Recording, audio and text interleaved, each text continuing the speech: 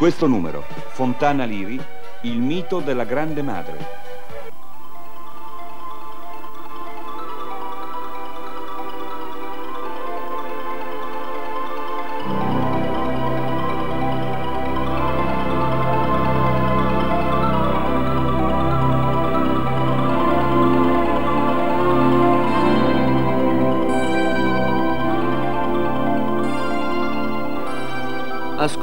Ombra del tempo, tu sarai la rivelatrice dei nudi. Siamo a Fontana Liri Superiore, in provincia di Frosinone, dove il lavoro del respiro dell'uomo trasuda solitudine. Qui il tempo si è fermato, anche le campane suonano a silenzio. La voce della fontana si chiude dentro la pancia della cannata. Le lancette ferme dell'orologio ridono sommesse nella vecchia torre che sola conta le stelle non ricordandone più il numero. Occhi di finestre vuote parlano il linguaggio delle ombre. Le pietre raccontano la leggenda della grande madre dalle sette F. In una notte di gennaio, senza stelle, un angelo venuto da lontano segnò con il fuoco sulla porta bassa del vecchio saggio sette F per indicargli il punto dove doveva inserire le sette chiavi d'oro per aprire la porta della luce e far ritorno nel cuore della grande madre ove la felicità dei sogni si trasforma in realtà con il binomio fra le sette stelle dell'Orsa Maggiore e i sette figli del vecchio saggio che si chiamano fuoco, fede, fraternità, fertilità, felicità, fedeltà, forza.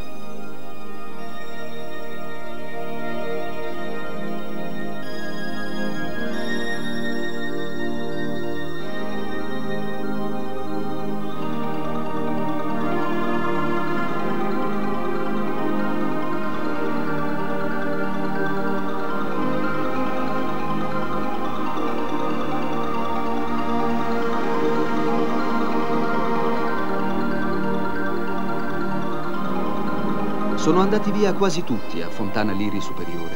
Nonna Filomena racconta a se stessa questa leggenda e si domanda cosa è mai accaduto ai divini figli della grande madre. Hanno perduto il senso del divino. La patina ingiallita della nostalgia vela le grange della leggenda d'un tempo. Così le parole di nonna Filomena si sono perse nel vento.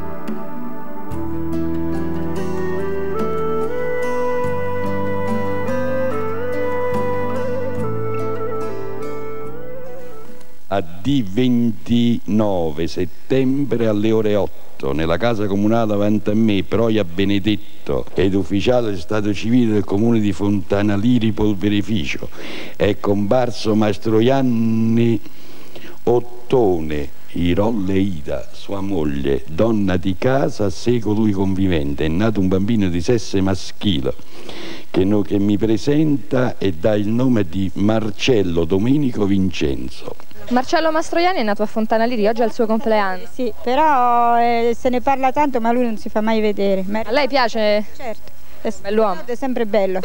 Io sono nato a febbraio, lui a ottobre, a settembre. Ma eh, da ragazzi vi frequentavate? No, no, questo no, lui è stato sempre un po' lontano, no, perché lontano nel senso che non ci frequentavamo, ma io facevo un lavoro, lui ne faceva un altro. Che lavoro faceva? Io ho fatto il tornitore, lui ha pensato sempre di fare l'attore, quindi... Questa è la casa dove Marcello Mastroianni ha vissuto da ragazzo? Nato, ah, è nato proprio? Nato proprio qui, in questa casa qui. E qui ha vissuto fin quando era ragazzo? Prima di andare a Roma? Poi prima di andare a Roma, perché poi si trasferì in un'altra casa qui giù, qui giù, e c'era tutta la famiglia, i genitori.